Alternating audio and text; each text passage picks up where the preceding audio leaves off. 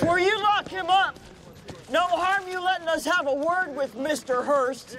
Speaking for Charlie Utter as is gone from amongst us. What's going on here? What's in train? This United States of American senator had Charlie Utter murdered Yes, murder! without remorse, nor recourse, nor fucking recollection.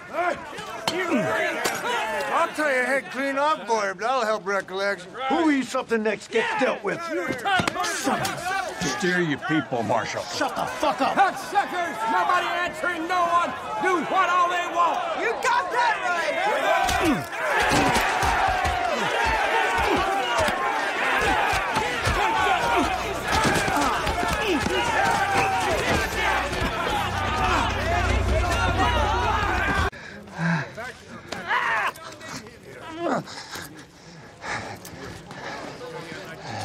Get the fucking doc. Yeah, let's duel lay the cocksucker in his misery. Now, Jane. Hope you die in the street. Like my dad did.